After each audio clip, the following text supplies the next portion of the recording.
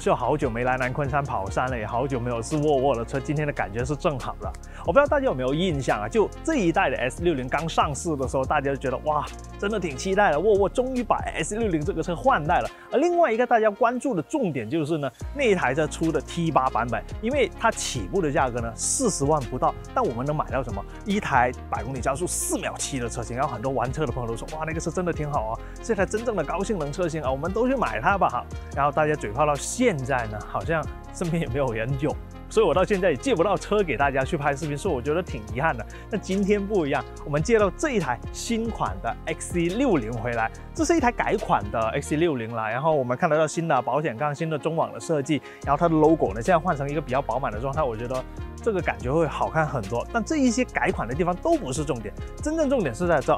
你看到这你就知道，这是一台插电的车型啊。其实这是目前卖的最贵的 XC60 真正的 T8。虽然我们借不到 S60 的 T8，但是这台 XC60 的 T8 我觉得也算是个补偿。虽然它百公里加速做不到四秒七，但起码这一台车也能做到五秒五，真的是一台挺快的 SUV 了。所以我今天是希望通过这一台绿牌的 XC60 来看一下，到底沃尔沃做这种插电混动的车型。跟其他品牌有什么不一样？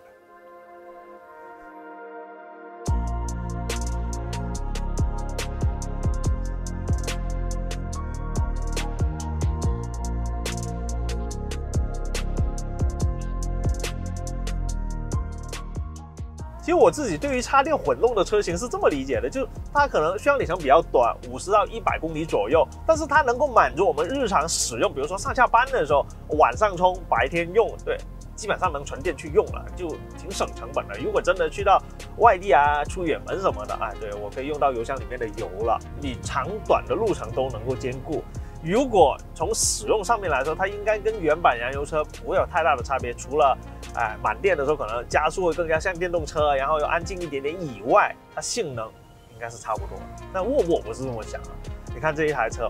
如果你买的是燃油的。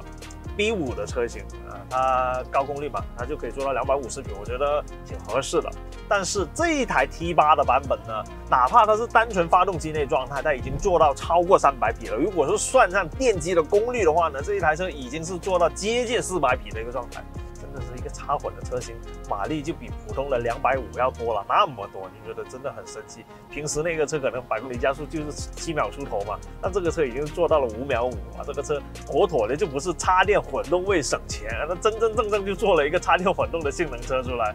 真的很不可思议。其实这一台车呢，现在是没电的状态啊，就因为他们给到我的时候就没有充电，然后它也只是慢充，它就十一度多的电。但是现在没电的状态开着也挺爽，呃，有点像是我们开平时普通的混动车型那样子啊。但是它大部分情况下你是听不到发动机的声音，你就现在悠着去开。我觉得这个车这种电门或者说油门的响应呢，很迅速，就很像我们自己在开电动车的那种感觉，反应挺快的哈。但如果你是真的大脚油下去呢，是有点像是我在开力狮二点五 GT 那种感觉，就是一脚下去，哇，那种速度马上就蹦出来了，而且那种渐压的过程呢，真的会缩的非常的短，马上就能有响应。我觉得这种感觉真挺好的，而且它不像是 B 五的那种感觉，因为 B 五呢，哪怕它现在是加了一个四十八伏进去啊，但是它那种辅助的力度跟这个 T 八是完完全全不同一个层次的。这个一脚下去，你就觉得我我在开着一个高性能车，就丝毫不会察觉自己在开一台混动车。而且平时我们开那些插电混动的车型，最烦是什么？就是你安静的时候用电，真的挺安静。但一脚下去的时候，你听到那发动机声音，觉得哇，整个环境突然间被破坏掉了。这车不好开，还是充电好用，就是那一种感觉。但这个车不会，我可以让你们去听一下它发动机进来的时候是什么声音。一脚下去。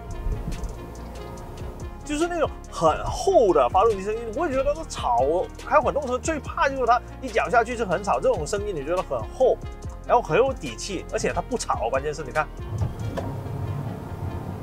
哇，这种声音我觉得就好听了，而且这个车关键什么就快，所以。你真的买沃尔沃这种 T 八的车型，你一点都不觉得自己是为了省那一点点电费而去买一台绿牌的车。这个车买了就是为了性能，所以沃尔沃买 T 八，无论是 S 六零还是这一台稍微慢一点点的 XC 六零呢，我觉得都是因为它快，而且那种动力的响应呢，真的跟 B 五那版本是完全不一样的啊。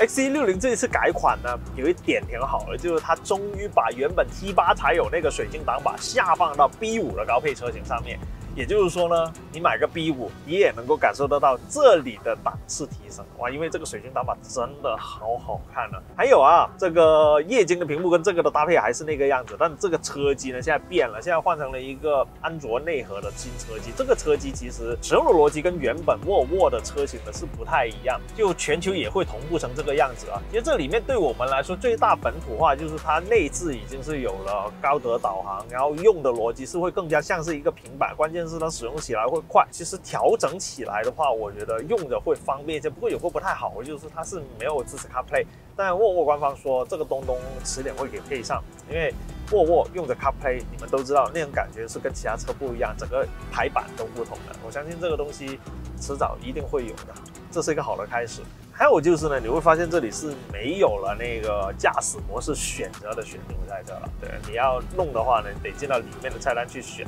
这一台 T8 的车型，我们看得到有 Hybrid 啦、Power 啊、Offroad 啊、AWD，包括 Pure 的版本在这。Pure 你要有电的时候才能用得上。其实这一些驾驶模式呢。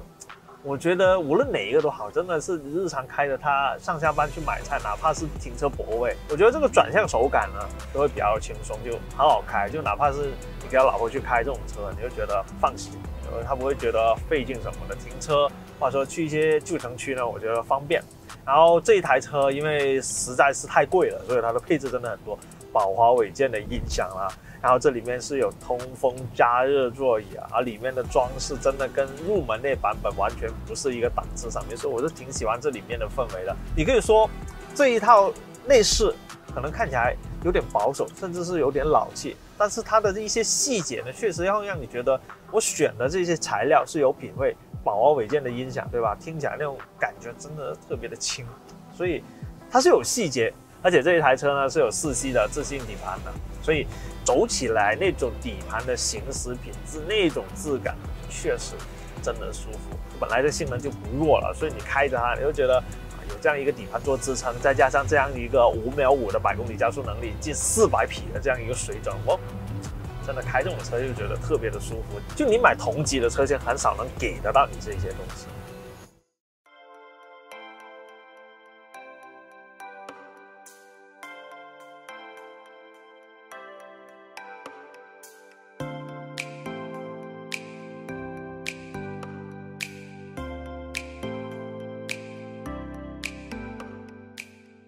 其实我觉得呢，除了框架以外，其实它日常去使用的一些科技装备或者说安全预警系统，是真的用起来挺容易上手，而且你觉得就很安心，你明白吗？就比如说这台车的领航系统，就大家都在倡导的什么 L2 自动驾驶，其实它也有这个东西，但是它这个领航辅助呢，就你一键开启以后，它就会自己去识别车道，然后开起来那种感觉，是不是特别像是自己在开？识别率高，运算速度快，我觉得才是让我们觉得安心的一个地方。还有之前我看过他们那广告片，就是说的什么鬼探头有小孩，有自行车冲出来，车能够自动紧急刹车，然后又能够紧急避让，而且关键是识别率这个东西真的能够帮到你避免这些碰撞的。就是你会觉得看完这些东西，然后自己也亲自感受过它那个紧急制动啊，然后领航辅助啊这些东西以后，你就觉得这一套的安全系统。会给你的信心大过整一个框架，当然我们也会知道，其实它整个框架是真的好，而且还有一个就是呢，就这些车新车买回来那味道不大。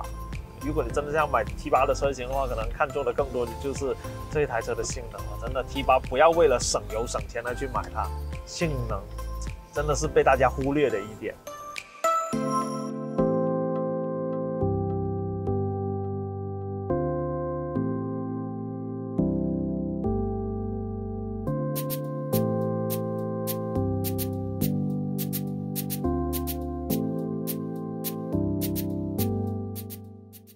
真的自己实际去试了之后，才知道沃尔沃原来是这样子去做他们的插混系统。因为绝大部分人买插混的车型呢，可能就是为了这个指标，或者说短短几十公里的续航里程。而你需要去忍受，就是这一台车如果没电的时候，那发动机介入那声音、那动静呢，真的是很大，就破坏整个好的印象了。所以我觉得那时候用车呢，觉得就真的挺屈就的，明白吗？但这一台车不一样，我没想到沃尔沃原来是做这种插混的车型，是把自己的性能做得更好。这个车就像一个，就呃，可能你买个 Q 五跟 SQ 五的那种差别，你明白吗？所以这个车呢，确实很讲性能，但确实车价是真的有点贵。然后普通版的 B 四 B 五的 XC 六零呢，也趁着这一次改款呢，去做了一个动力的提升，就加入了四十八伏，所以我们才看得到 B 五现在是做得到去了两百五十匹。所以那车呢，我觉得你可以关注一下，因为价格没有这个去到那么高。但今天我真的是没有时间去试那个 B 五的车型，我觉得试了这个 T 八已经是很满足的，因为我现在是真的清楚的知道沃尔沃原来做插混是用这种方法的。